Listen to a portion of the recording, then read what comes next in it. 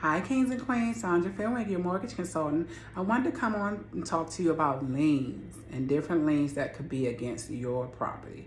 Now, when you purchase a home, it is your home.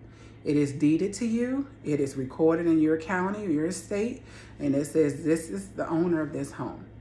But if you purchase that home using a loan, then that loan becomes a lien against your property or a mortgage. It's your first mortgage okay? So um, your home is a part of your net worth. So if anything, it, it's an asset to you. So if anything happens, then people could come for that home and put liens against that home to get their money out of your asset. That's part of your net worth.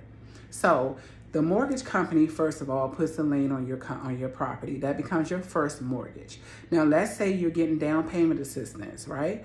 Some, most down payment assistance are not grants; they are loans that you have to repay. Some of them are have terms like you keep it for three years and after that it's forgiven, but it's still initially it's a loan. So that becomes your second mortgage. It's also a lien against your property. So if anything happens and you and you can't repay these loans, then you're they're going to take your home, they're going to sell it, and then the first mortgage is paid first, and then the second mortgage is paid. So that's how the first and second mortgage work. So, but there could be other liens against your property. There could be a solar panel, like I used that in the previous video. If you get a, a loan to get a solar panel, that becomes a lien on your home as well. So uh, then you can get a lien for uh, if you owe people money. So if someone sues you and you have a judgment against you, they can put in an order to take the money from your house. So they can put a lien against your property that way. You can get a mechanic's lien. Um, if you have gotten some work done to your house and you didn't pay that uh, contractor, that contractor can put a lien against your house.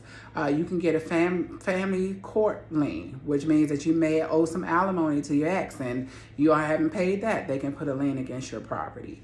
Um, there are different types of liens that can be in your property. That's why it's important for you to stay in touch with your title company after you close your loan because your title company, your title insurance is responsible for finding out what's attached to the title of your house.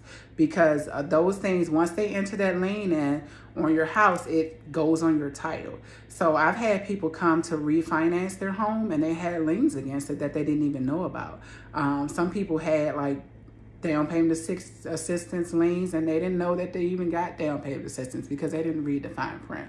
So it's, it's important to form a relationship with your title agent, know about your title insurance, know who to call just in case something is put against your title of your house so you don't get surprised by anything, any types of liens on your property. If you have any questions about liens, please give me a call. You have my cell, 301-326-7555. You can comment below. You can DM me. You can text me. Um, so you can call me if you need to. Thank you guys. Please like and share and comment. Bye.